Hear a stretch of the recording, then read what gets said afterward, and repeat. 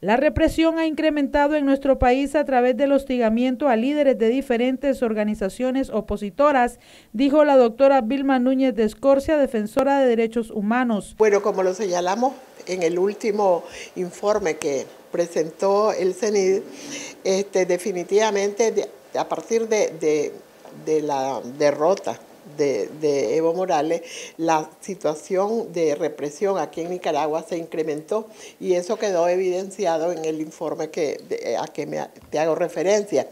Este, y esto ha continuado prácticamente durante todo el, lo que va de, 2020. Y, ahora sí es, este, es evidente que no dejan que se realice ni la más mínima eh, actividad, ya ni siquiera bajo techo, como acaba de ocurrir, bueno, el día de hoy ahí en, la, en, el Hotel Brand, y dicen que la policía, bueno, ya es costumbre instalarse frente al, frente al Holiday Inn. Este, aquí y después de eso pienso que hay que darles el, el, tratamiento que merece de divulgación y ver cuál es la intencionalidad de atacar tan, tan fuertemente la actividad del Consejo Político de la, de, la UNAV eh, en Bluefield.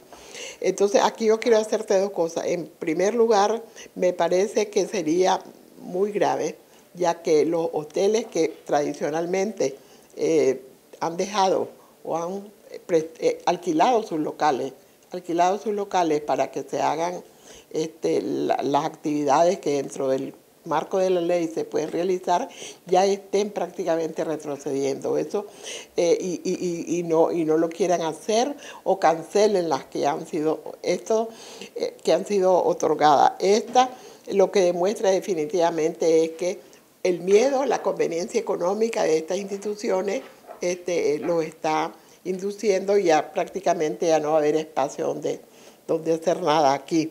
Y, yo creo que lo que se vislumbra de la acción casi irracional y sostenida, porque el, acoso y la, y la persecución en, en, Bluefield empezó desde el sábado. La reunión del consejo era ayer, está programada en, la, en el colegio de la Divina Pastora de los sí, en el, para las 9 de la mañana. Y entonces allí este, trataron de impedir la realización de, la, de, la, de esta actividad, eh, bueno, agrediendo de forma persistente y, permanente a, a Daisy, la, muchacha representante ante el Consejo y al otro muchacho que se llama Jorge. En los municipios y departamentos ha aumentado el hostigamiento debido que son espacios pequeños donde pueden ejercer mayor control, dijo la doctora Vilma Núñez. Para Noticias 12, Castalia Zapata.